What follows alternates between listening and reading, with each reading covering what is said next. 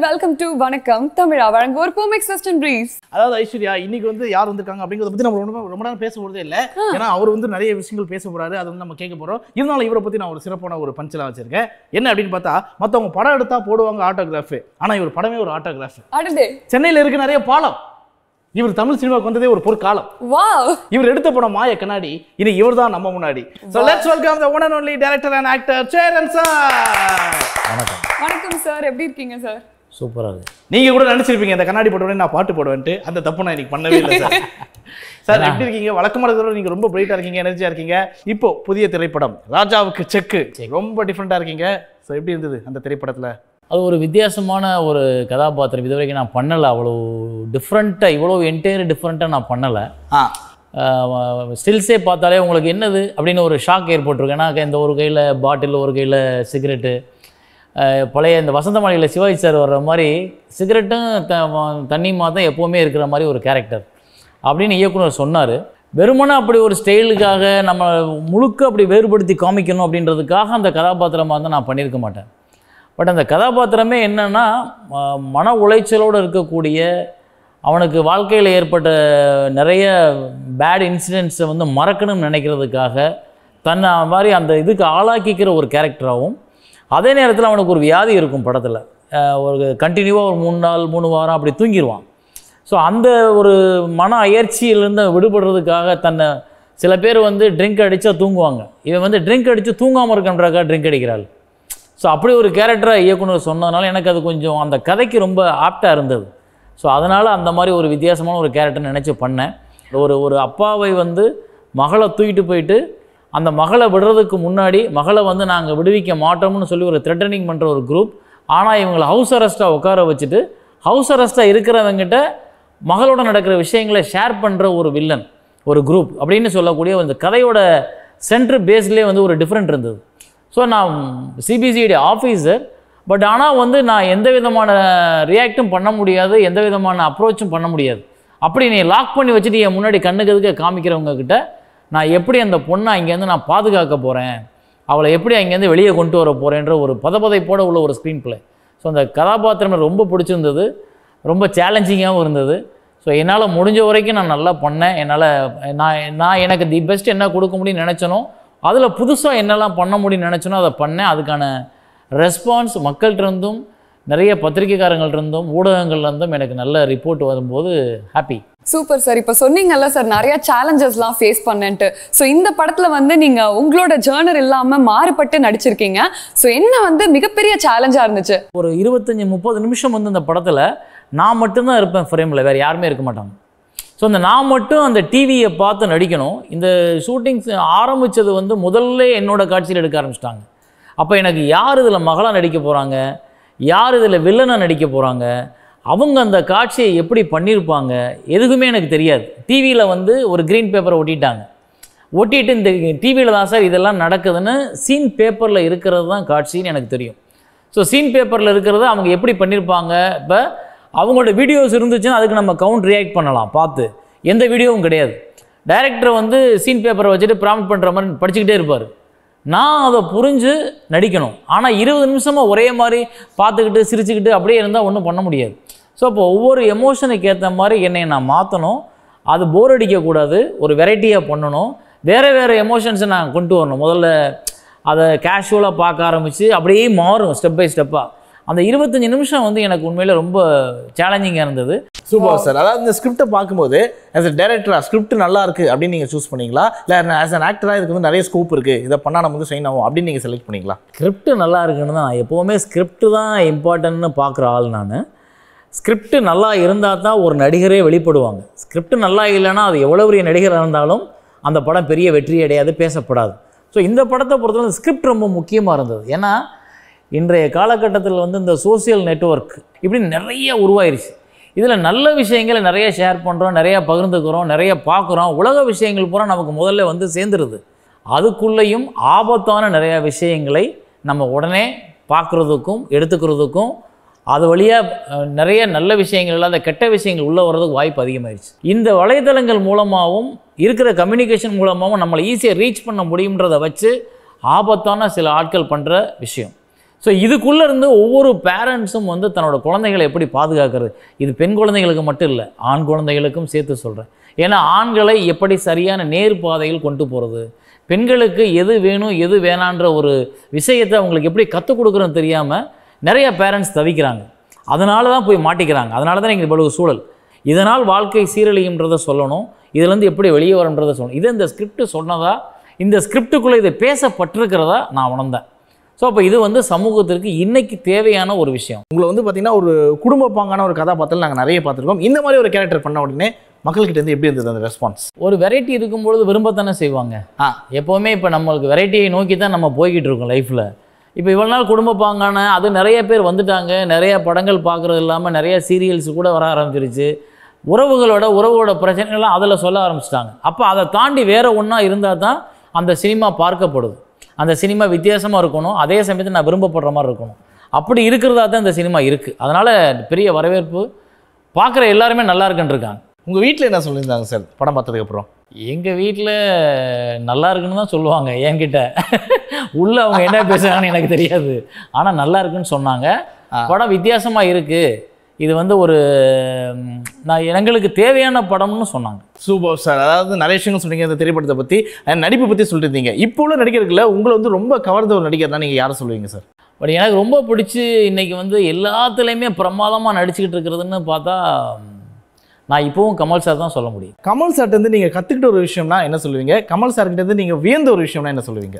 கமல் சார்ட்டேருந்து கற்றுக்கிறதுக்கு வந்து டெய்லி நீங்கள் அவர்கிட்ட பேசிட்டு இருந்தீங்கன்னா டெய்லி ஒன்று கற்றுக்கலாம் ஏன்னா அவர் டெய்லி அப்டேட் ஆகிக்கிட்டே இருப்பார். இன்றைக்கி உள்ள எல்லா அரசியலும் சரி விஞ்ஞானமும் சரி எந்த டாபிக் எடுத்தாலும் அந்த டாப்பிக்கில் இன்றைக்கி என்ன அப்டேட்டுன்றதை அவர்கிட்ட தெரிஞ்சுக்க முடியும். அந்தளவுக்கு வந்து அவர்கிட்ட தினம் தினம் கற்றுக்கிறதுக்கு நிறையா விஷயம் இருக்குது இப்போவும் அந்த பதினாறு வயசு இளைஞனோட வேகத்தோடு ஓடிட்டுருப்பார் அது எனக்கு பிரமிச்ச விஷயம். அதை நான் ஃபாலோ பண்ணணும்னு நினைக்கிறேன். அஹ் நீங்க ஒரு டைரக்டர் சார் உங்களோட டைரக்டர் பத்தி சொல்லுங்க சார் அதாவது ஒரு படத்துல வந்து நீங்களும் ஒரு டைரக்டராகவும் நடிகராகவும் இருக்கும்போது அவரோட எப்படி சார் இருந்துச்சு அந்த அசோசியேஷன் எப்போவுமே என்ன ஆகும்னா ஒரு இயக்குனர்கிட்ட வந்து ஒரு நடிகராக வேலை பார்க்கும்போது ஒரு பிரச்சனையே இருக்காது. ஆனால் ஒரு இயக்குனர் கம் நடிகராக இருக்கவங்க இன்னொரு இயக்குனர்கிட்ட வேலை பார்க்கும்போது சின்ன சின்ன மாறுதலும் வித்தியாசமான கோணங்களில் நம்ம படம் எடுக்கலாம் வேறு வேறு தாட்ஸ் வந்து நமக்கு உருவாகிக்கிட்டே இருக்கும். இந்த சீன் இப்படி எடுத்துருக்கலாம்ல? இந்த வீடு வந்து இப்படி இருந்தால் நல்லா இருக்கும்ல? அப்படின்ற தாட் ஏன்னா ஒவ்வொருத்தரோட இமேஜினேஷன்றது வேறு. ஸோ அப்போ நான் டைரக்டராக போய் அங்கே நிற்கும்போது எனக்கு அதெல்லாம் உருவாகும். இது எனக்கு வந்து ஆரம்பத்தில் ஒரு நாலஞ்சு படங்களில் வந்து இந்த பிரச்சனை இருந்தது. இல்லை இது இப்படி எடுத்துருக்கலாமே. ஐயோ இது ஏன் இப்படி எடுக்கிறாங்க? அப்போ இயக்குனரோட எனக்கு அந்த இயக்குனரோட பிரச்சனையும் ஏற்பட்டிருக்கு. அப்புறம் இன்னொன்று ஒரு ஒரு ஆர்ட் அப்படின்றது வரைய ஆரம்பிச்சாச்சுன்னா அந்த ஆர்டிஸ்டோட சுதந்திரம். ஸோ அதை நான் புரிகிறதுக்கு ஒரு நாலஞ்சு படங்கள் ஆச்சு. நான் இயக்குனராக இருந்தால் கூட. அப்புறம் அவங்க இயக்குனரோட தன்மைக்கு நான் போயிட்டேன். இப்போ இந்த படத்தை பொறுத்தளவில் எனக்கு வந்து அந்த இயக்குனர் எனக்கு எந்த டென்ஷனும் கொடுக்கல. ஏன்னா அவர் என்ன வேணுன்றதில் தெளிவாக இருந்தார். என்ன காட்சிகள் இவ்வளவு போதுன்றதுலையும் தெளிவாக இருந்தார். ஸோ அதனால் எனக்கு எந்த டென்ஷனும் ஏற்படல. இந்த சின்ன பட்ஜெட்டுக்குள்ளே எது வேணுமோ அதை மிக தெளிவாக எடுக்கிற சாமர்த்தியம் வந்து அந்த இயக்குனருக்கு இருந்தது. அதனால் நான் எனக்கு ஒரு பிரச்சனையும் கிடையாது. அண்ட் இப்போ நான் ஏற்கனவே சொன்ன மாதிரி அந்த கேம் ப்ராப்பர்ட்டி சார் அங்கே பாருங்கள் ஆ அதில் வந்து பார்த்தீங்கன்னா நிறைய பேப்பர்ஸ் தான் நாங்கள் அடிக்க வச்சிருக்கோம். ஸோ இந்த கேமோட நேம் என்ன அப்படின்னு பார்த்தீங்கன்னா சார் நம்ம நிகழ்ச்சிக்கு. ஐ எம் பேக்னு வந்திருக்காரு. இப்போ விளாட போகிறது த்ரோ பேக் சார் அங்கே பாருங்கள் ப்ராப்பர்ட்டிஸ் வந்து வச்சுட்டோம். சட்டம் மாதிரியே வெளில விளையாண்டு வந்து ப்ராப்பர்ட்டிஸ் படத்தில் குடிக்கிற கேரக்டர் இருந்ததுனால இப்படி வரிசையாக வச்சிட்டிங்களா? அது கிளாஸ் தான் அப்படி ஆனால் அதுக்குள்ள மேட்டர் வந்து பேப்பர் தான். இது என்ன அப்படின்னு பார்த்தீங்கன்னா த்ரோ பேக் அதாவது சேரன் சாரை நாங்கள் கொஞ்சம் அப்படி புரட்டி பார்க்க போகிறோம் நீங்கள் வந்து எடுக்கிறீங்க அதில் வந்து உங்களுடைய திரைப்படங்களோட பேர் இருக்கும். அதை பார்த்த உடனே உங்களுக்கு என்னெல்லாம் ஞாபகம் வருது? ஏதாச்சும் அந்த திரைப்படத்தில் உங்களுக்கு மறக்க முடியாத ஒரு எக்ஸ்பீரியன்ஸ் இருக்கலாம். அதை வந்து நீங்கள் எங்ககிட்ட ஷேர் பண்ணலாம். ஓகே சார் ஸோ உங்களுடைய முதல் சீட்டு என்ன அப்படின்னு பார்த்துடலாம். எல்லாத்தையும் நீங்கள் எடுக்க போறீங்க. அது வேறு விஷயம். இருந்தாலும் முதல்ல மாயக்கண்ணாடி. மாயக்கண்ணாடி. அதாவது ஒரு நடிகர் ஆகணும்னு ஆசைப்படுறவங்களுக்கு இயக்குனர் ஆகணும்னு ஆசைப்படுறவங்க பார்க்க வேண்டிய ஒரு திரைப்படம் மாயக்கண்ணாடி. மாயக்கண்ணாடின்னு சொன்ன உடனே எனக்கு ரெண்டு விஷயம் ஞாபகம் வரும். ஒன்று வந்து நவ்யா நாயர். ஏன் அப்படின்னா அவங்க வந்து அதில் ஒரு பிசாசு மாதிரி நடிச்சிருப்பாங்க.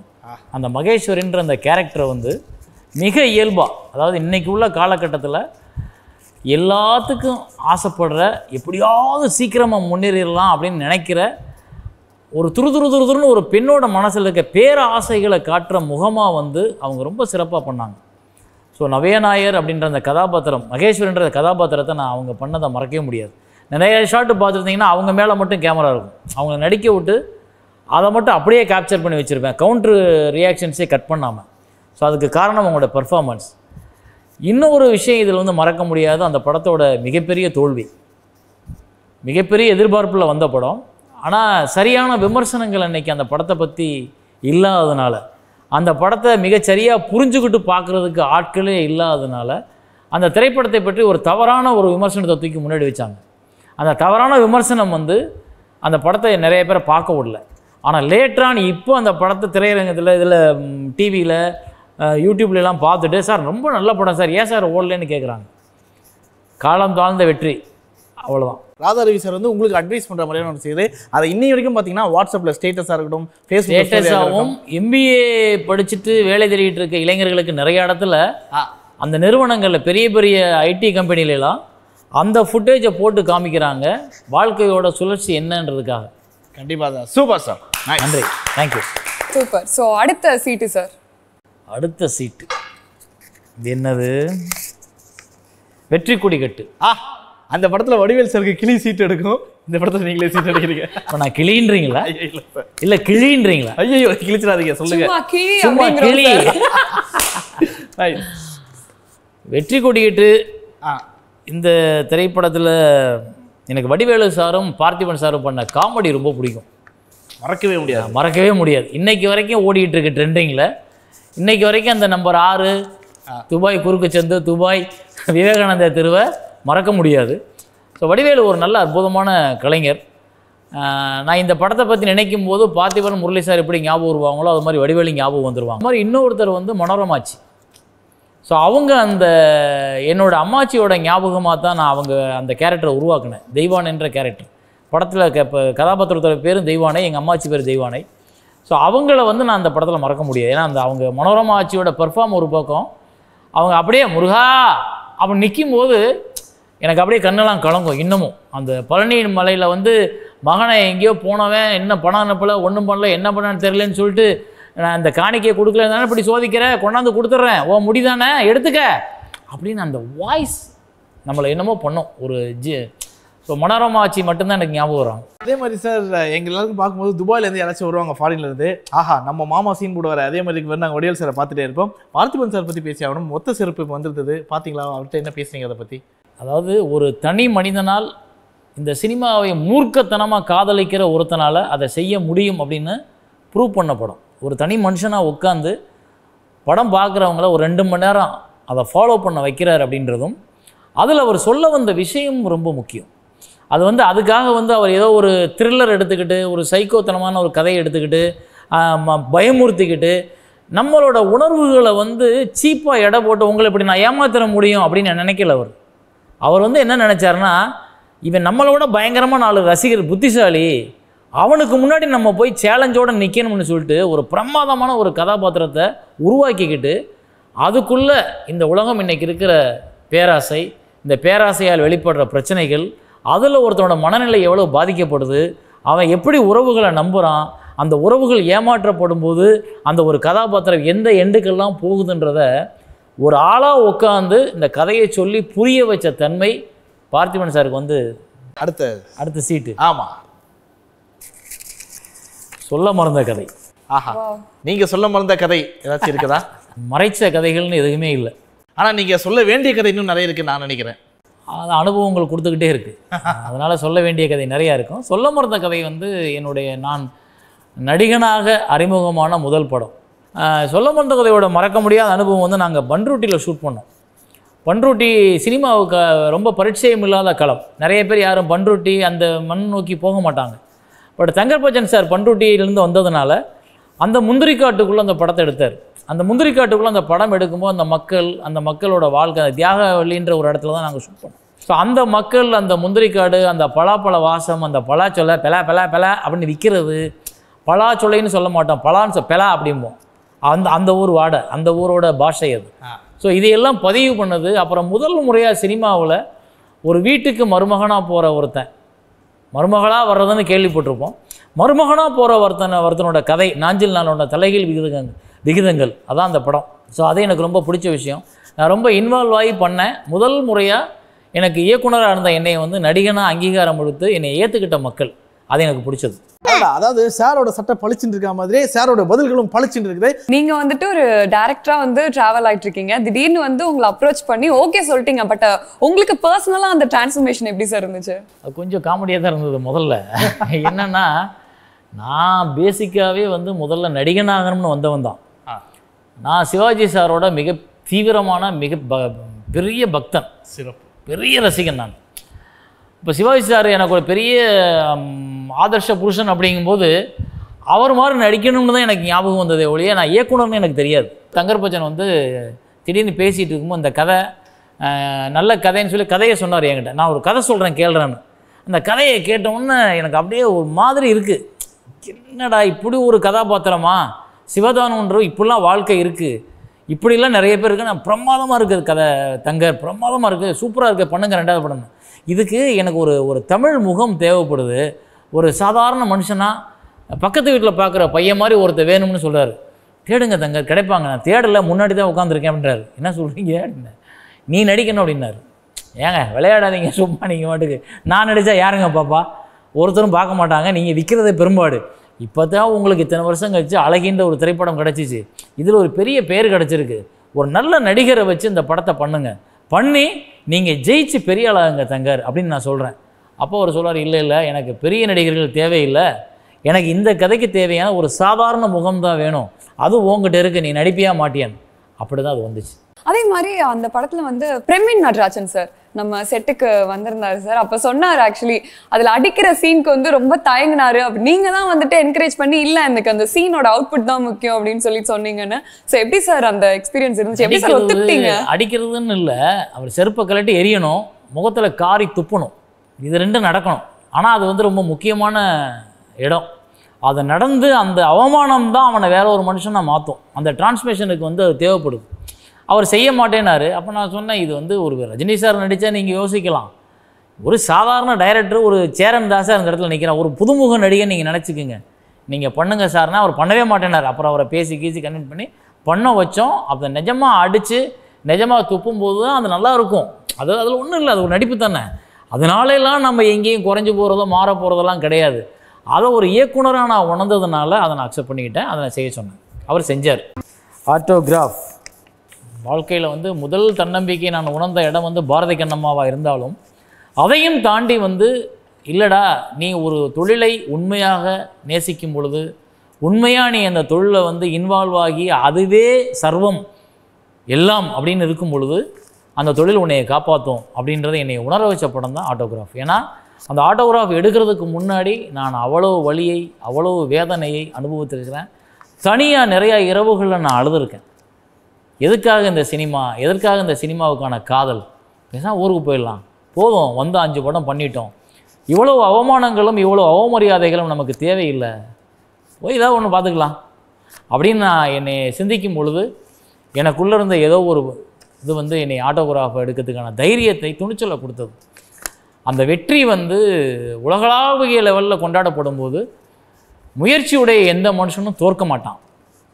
அப்படின்ற நம்பிக்கை விதைத்த படம் ஆட்டோகிராஃப் இதை பற்றி வேறு ஒன்றுமே சொல்ல வேணாம். சார் ரொம்ப நாளாக எல்லாருக்குமே இருக்க ஒரு கேள்வி. ஆட்டோகிராஃப் டூ எப்போ வரும்? காலம் கடந்துருச்சு. ஆட்டோகிராஃப் டூன்னு இப்போ எடுக்கும் பொழுது அதோட தொடர்ச்சியாக எடுக்கவும் முடியாது. ஏன்னா பதினாலு பதினஞ்சு வருஷங்கள் ஆகிப்போச்சு. ஸோ ஆட்டோகிராஃப்ன்ற டைட்டிலை பயன்படுத்திக்கிட்டு வியாபாரம் பண்ணணுன்ற எண்ணம் இருந்தால் அதை எடுக்கலாம். எனக்கு அந்த எண்ணம் இல்லை. அதனால் அதை எடுக்கிறதுக்காக என என்னோட மனசாட்சி வந்து ஒத்துக்க மாட்டேங்குது. ஆட்டோகிராஃப்ன்றது ஒரு முக்கியமான படம்.